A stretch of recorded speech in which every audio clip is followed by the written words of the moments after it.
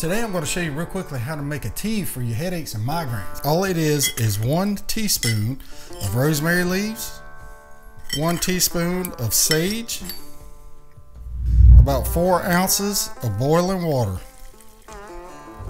Now you want to cover this and bring it back down to room temperature.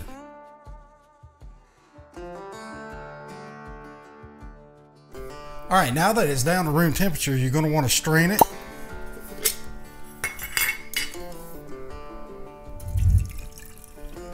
Now you're just left with a headache remedy.